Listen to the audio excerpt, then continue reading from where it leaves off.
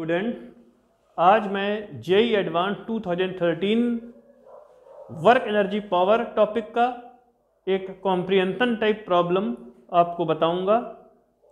इसके बाद इस प्रॉब्लम को मैं मॉडिफाई करूँगा और उस मॉडिफाइड प्रॉब्लम का जो लेवल है, वो इसके करंट प्रॉब्लम के लेवल से ऊपर हो जाएगा और उस प्रॉब्लम का सल्यूशन भी मैं आपको बताऊँगा। तो आज हम लोग करेंगे दो प्रॉब्लम एक जो 2013 में आई थी वर्क एनर्जी पावर टॉपिक की, और फिर उसकी मॉडिफाइड प्रॉब्लम को हम लोग करेंगे।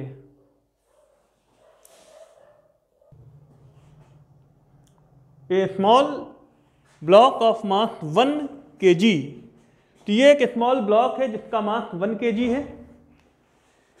Is release from rest at the top of a rough track तो ये एक रफ ट्रैक है। सर्कुलर ट्रैक है ये, और इसके टॉप पर इस वन के के ब्लॉक को रिलीज़ किया गया है। The track is circular arc of radius 40 metre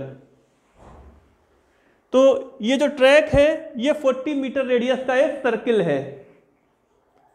The block slides along the track without toppling ये ब्लॉक जो है, एक ट्रैक के अलोंग स्लाइड करते हुए आता है। और पॉइंट क्यू तक आता है, जब वो पॉइंट क्यू तक आ जाता है तो and a frictional force is acting on it in the direction opposite to the instantaneous velocity तो किसी भी समय जब ये ब्लॉक स्लाइड करते हुए नीचे आ रहा होगा तो फ्रिक्शनल फोर्स इसके ऊपर एक्ट कर रही होगी, जो कि इसकी वेलोसिटी के अपोजिट होगी। अब फ्रिक्शन के अगेंस्ट कुछ ना कुछ वर्क होगा और पॉइंट क्यू तक जब ब्लॉक ये पहुँचता है तो फ्रिक्शन के अगेंस्ट जो वर्क हुआ है वो दे रखा है। ठीक है जी? The work done in overcoming the friction up to point Q is 150 joule तो ये ब्लॉक स्लाइड करके जब 30 डिग्री एंगल घूमता है और पॉइंट क्यू पर पहुँचता है तो यहाँ तक फ्रिक्शन के अगेंस्ट जो वर्क हुआ है, वो वर्क 150 जूल है। अगर g की वैल्यू 10 मीटर पर सेकंड स्क्वायर है if the value of g acceleration due to gravity is 10 meter per second square find the speed of the block, when it reaches the point q, जब वो block point Q पर पहुंचेगा तो उसका speed कितना होगा? ठीक है? हमारे पास चार ऑप्शन हैं। फाइव मीटर पर सेकेंड फिर हमारे पास है टेन मीटर पर second,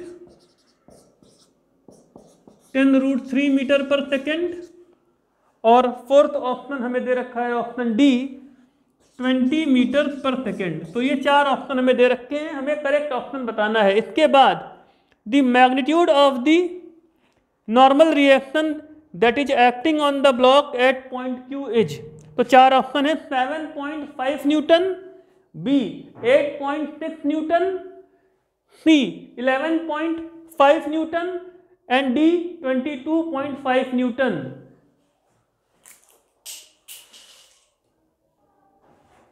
तो अब ये देखें आप लोग कि ये ब्लॉक जब यहाँ से यहाँ तक आएगा तो ये वर्टिकली कितना नीचे आएगा?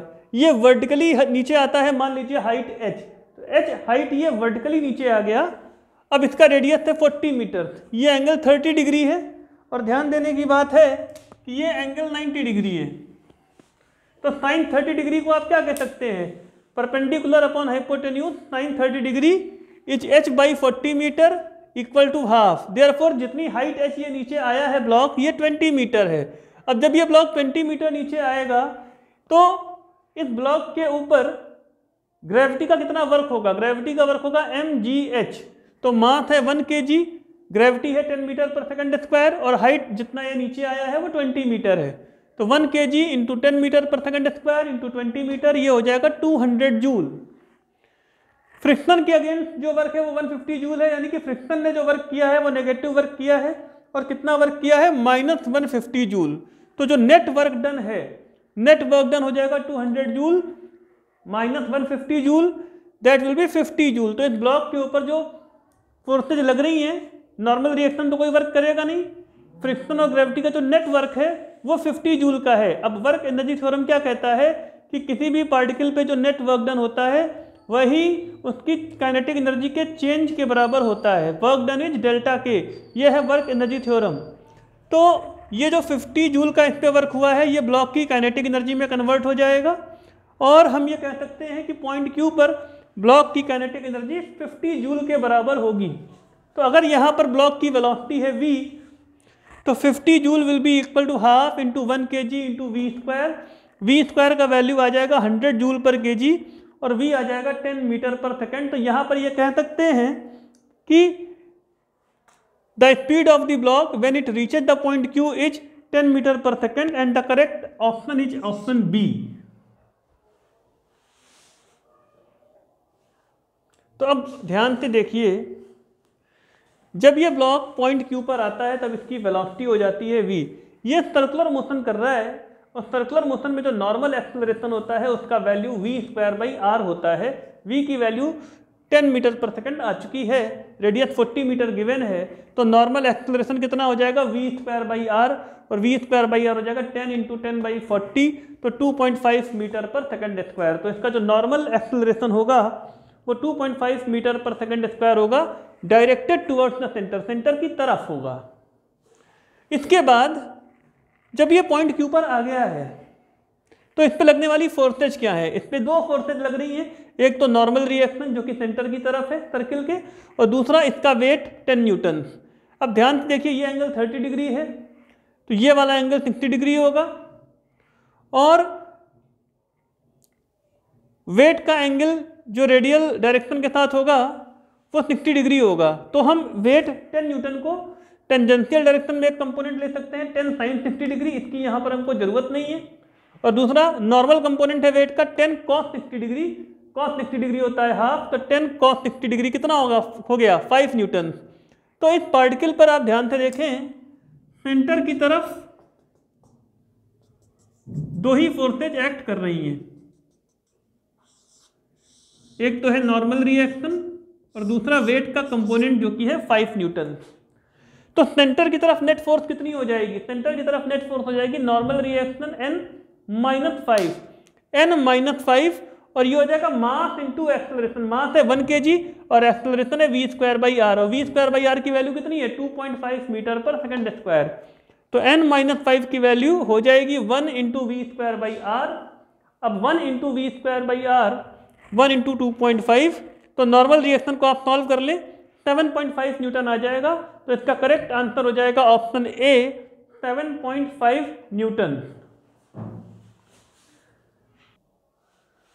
तो अब इस जेई एडवांस के प्रॉब्लम को हम लोग मॉडिफाई करेंगे और मॉडिफाइड प्रॉब्लम को भी हम लोग सॉल्व करेंगे। तो देखिए मैंने मॉडिफिकेशन क्या किया है, वो मैं आपको बताता हूँ। मान लेते हैं कि ये जो सर्कुलर ट्रैक है, ये भी एक ब्लॉक है, जिसका एक सरफेस जो है वो सर्कुलर है, या एक सर्किल का वन बाई फोर्थ पार्ट है। और ये जो सर्कुलर ट्रैक है, ये रफ है। वन के का पार्टिकल इसके टॉप पे है, और ये जो वेज है, जिसका एक सरफेस सर्कुलर है, इसका मास भी वन के है। और ये वेज एक स्मूथ सरफेस के ऊपर रखी हुई है तो जब ये पार्टिकल इस पर स्लाइड करते हुए नीचे आएगा तो इस पार्टिकल के नॉर्मल रिएक्शन की वजह से ये वेज भी लेफ़्ट डायरेक्शन में स्लाइड करेगी। तो अब इसमें चेंज क्या हो गया है?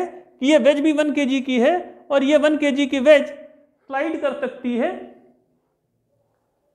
स्मूथ ग्राउंड के ऊपर।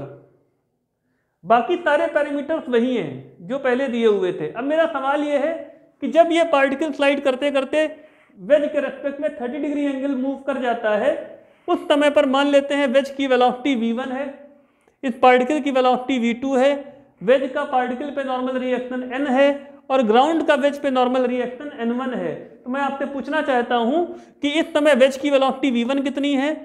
पार्टिकल की स्पीड ग्राउंड फ्रेम में v2 कितना है?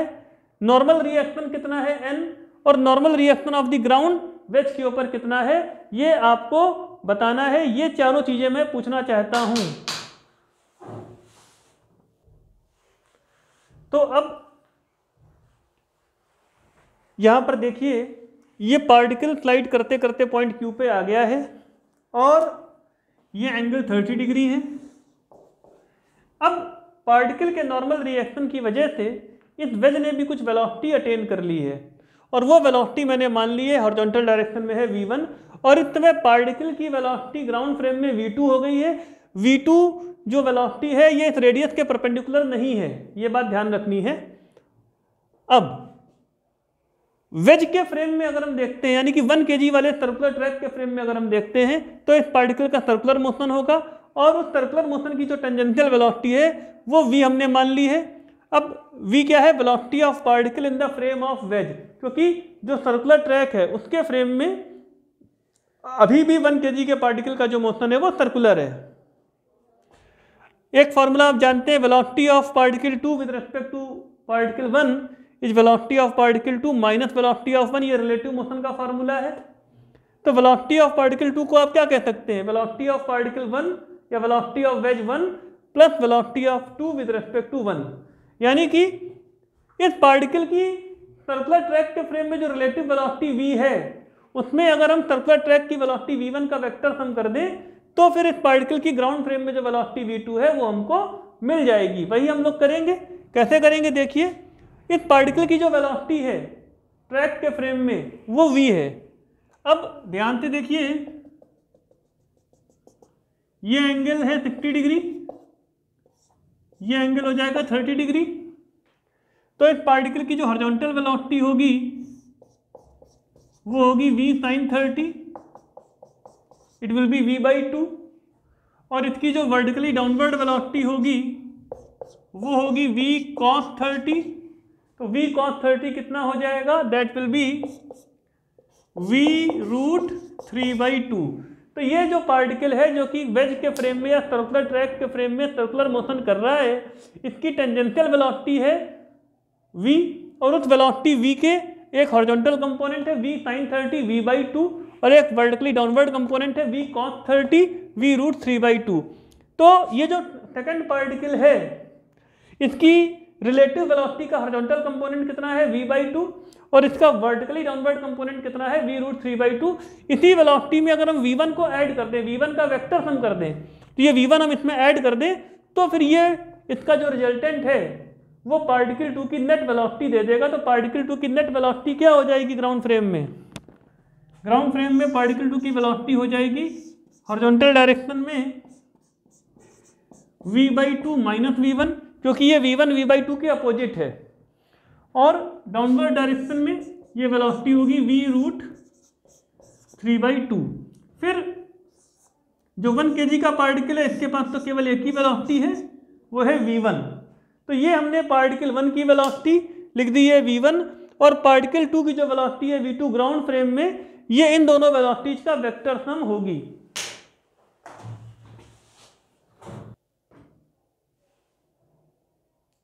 तो ध्यान से देखिए। इस पार्टिकल प्लस वेज का जो सिस्टम है, इसका मोमेंटम हॉरिजॉन्टल डायरेक्शन में पहले कितना था? ज़ीरो था।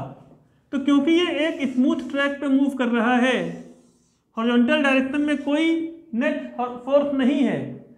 ट्रैक प्लस पार्टिकल के सिस्टम पर तो इसका मोमेंटम हॉरिजॉन्टल डायरेक्शन में अभी भी क्या होगा? अभी भी इसका जो मोमेंटम है वो कंजर्व रहेगा, ज़ीरो रहेगा। अब पहले मोमेंटम ज़ीरो था। बाद में पार्टिकल का मोमेंटम कितना है? पार्टिकल का मोमेंटम है one K G into V by two minus V one और इस ट्रैक का मोमेंटम अपोजिट डायरेक्शन में है तो minus one into V one और ये सम अभी भी ज़ीरो ही रहेगा। तो ये इक्वेशन क्या बन जाएगी? ये बन जाएगी V by two minus two V one is zero. और इससे आपको मिल जाएगा v का वैल्यू कितना है? Four V one. तो जो इसकी रिलेटिव वेलोसिटी थी v ट्रैक के फ्रेम में तो v का वैल्यू हमने प्रूव कर दिया है। It is four V one तो v कितना है बच्चों? फोर वी वन है। तो अब v by two minus V one हो जाएगा। Two V one minus V one so that will be V one इसका मतलब क्या हो गया? कि पार्टिकल टू की वेलोसिटी का जो हॉरिजॉन्टल कंपोनेंट है, वो वी वन ही है और v root three by two ये हो जाएगा four V one into root three by two तो पार्टिकल टू की वेलोसिटी का जो वर्टिकली डाउनवर्ड कंपोनेंट है, वो हो जाएगा two root three V one तो ये पार्टिकल टू की वेलोसिटी का हॉरिजॉन्टल कंपोनेंट आ गया वी वन और पार्टिकल टू की वेलोसिटी का वर्टिकली डाउनवर्ड कंपोनेंट कितना आ गया? Two root three V one अब देखिए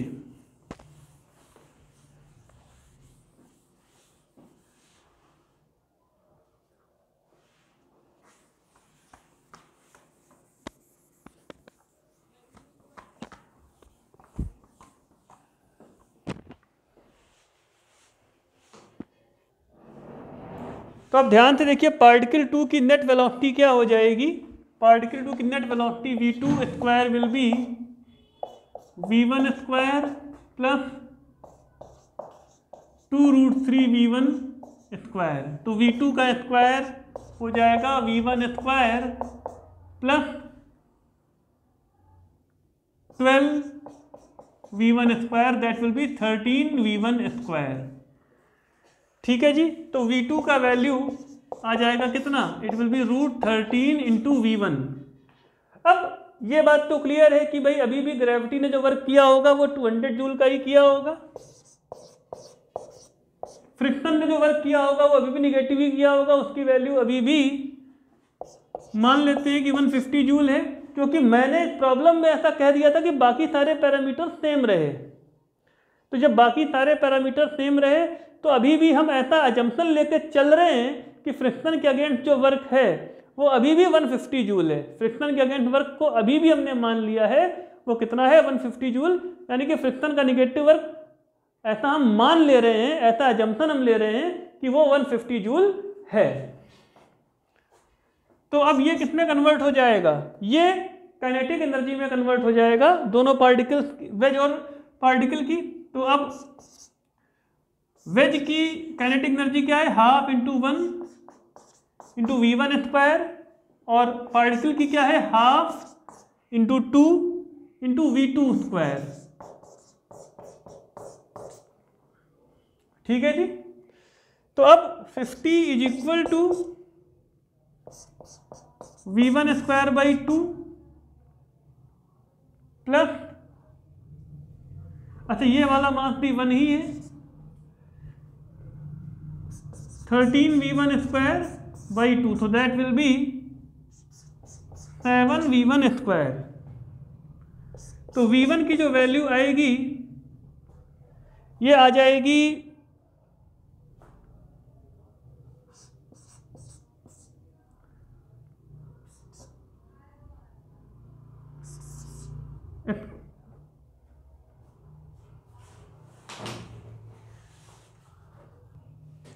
तो वी वन स्क्वायर की वैल्यू आ जाएगी फिफ्टी बाई सेवन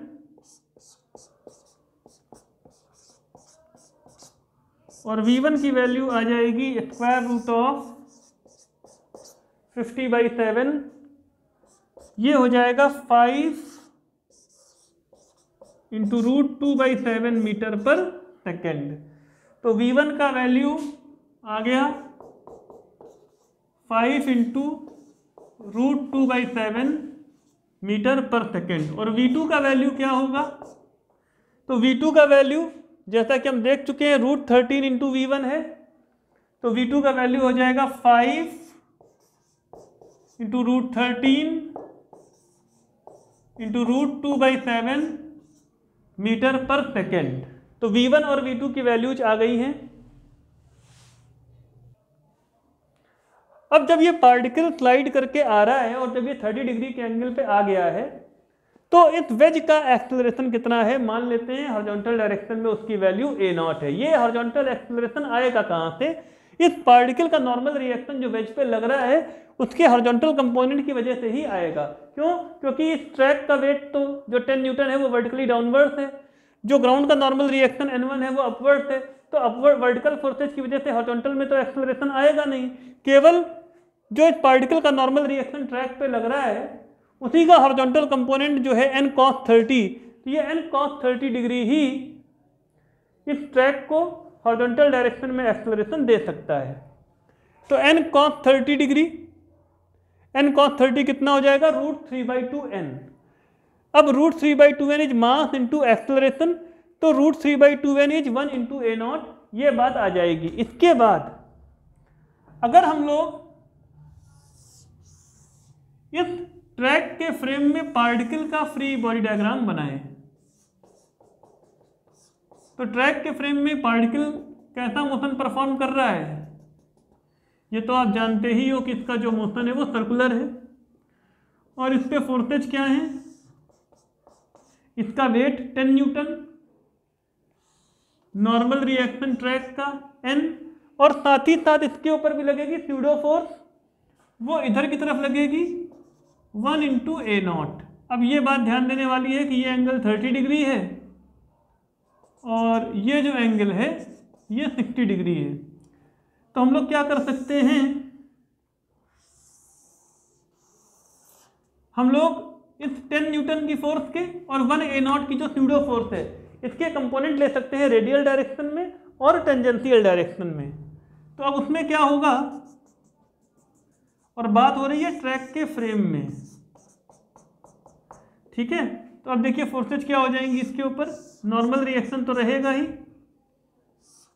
ये फोर्स ऐसे आ जाएगी ten cos sixty degree so it is five फिर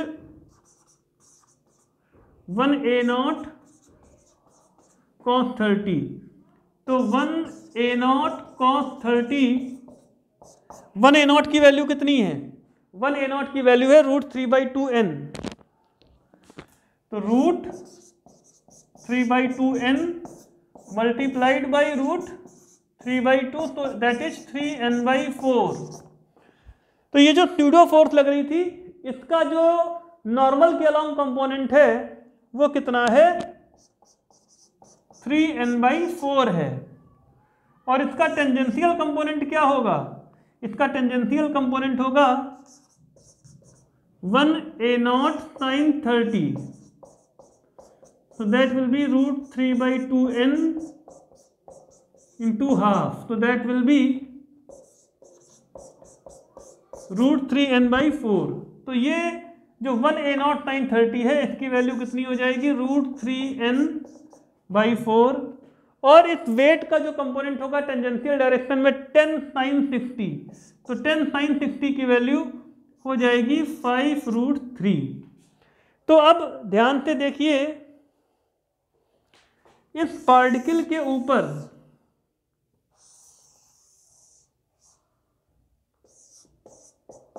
इस ट्रैक के फ्रेम में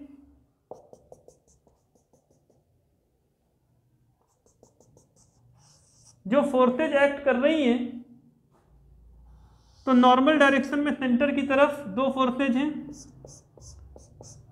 N plus three N by four और अवे फ्रॉम सेंटर एक ही फोर्स है फाइव न्यूटन की। और टेंजेंशियल डायरेक्शन में दो फोर्सेज हैं एक तो वेट का tangential component five root three plus root three N by four और इस पे जो नॉर्मल एक्सलरेशन लगेगा, वो होगा वी स्क्वायर बाई आर तो अब नॉर्मल एक्सलरेशन की वैल्यू को कैलकुलेट कर लेते हैं। तो अब normal acceleration V square by R कितना होगा? तो वी स्क्वायर बाई आर की वैल्यू, वी की वैल्यू हम लोगों ने निकाली थी। वी की वैल्यू कितनी आई थी?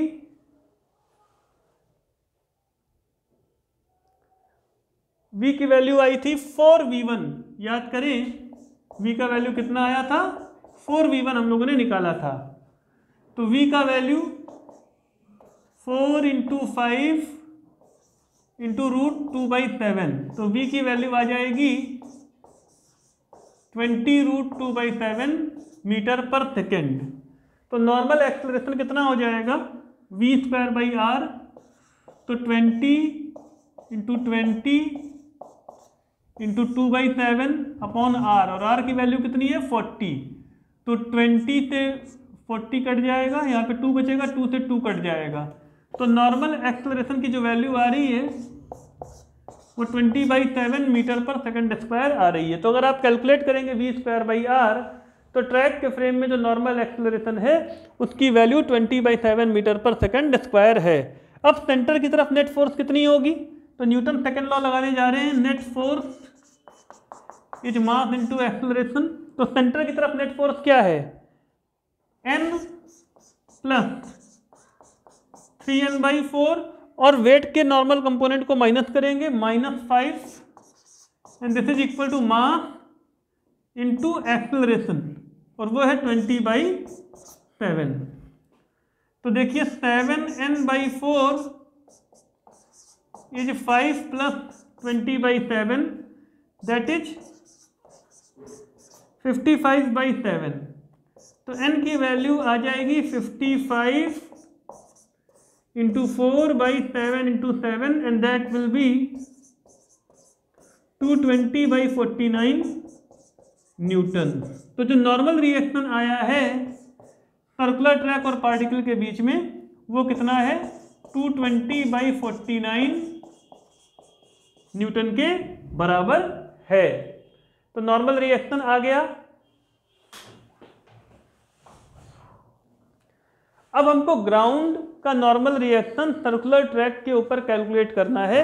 इसके लिए हम सर्कुलर ट्रैक का फ्री बॉडी डायग्राम बना लेंगे ग्राउंड के फ्रेम में। तो उस पर क्या फोर्सेज एक्ट कर रही है, देखते हैं।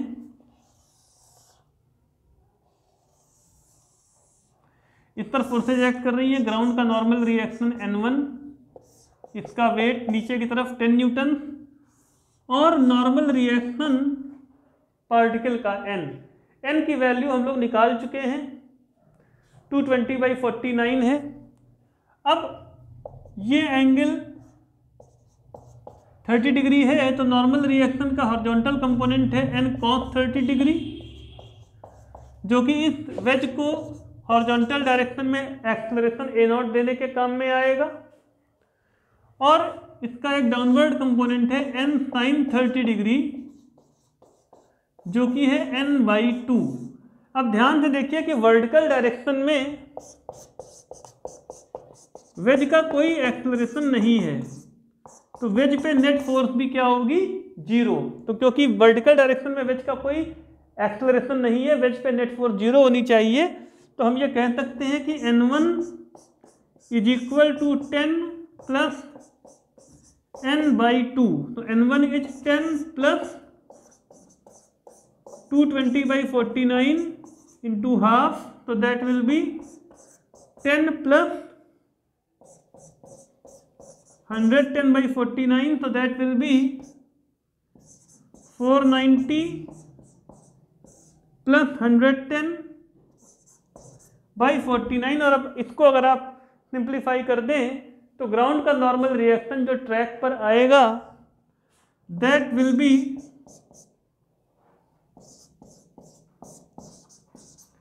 six hundred by forty nine newton. तो ये प्रॉब्लम हम लोगों ने सॉल्व कर ली है।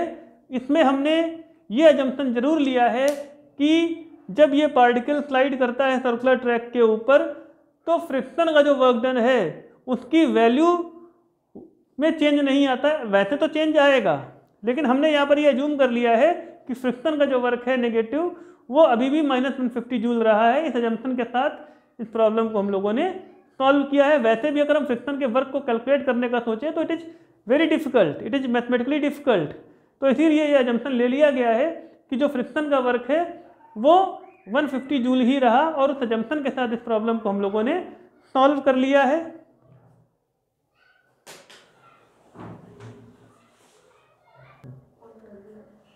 डियर स्टूडेंट्स आईआईटी रैंकर आपके लिए लेकर आया है।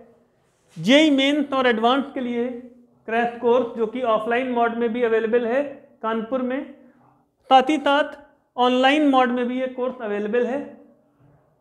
हमारे कोर्सेज के बारे में अधिक जानकारी के लिए आप हमारी वेबसाइट पर जा सकते हैं www.iitrankers.com आप ईमेल पे भी क्वेरी कर सकते हैं। हमारा ईमेल एड्रेस है I I T rankers info at the rate Gmail dot com साथ ही साथ व्हाट्सएप या टेलीग्राम पर भी आप हमसे कांटेक्ट कर सकते हैं। हमारा व्हाट्सएप या टेलीग्राम नंबर है nine four five two five three double eight two nine thank you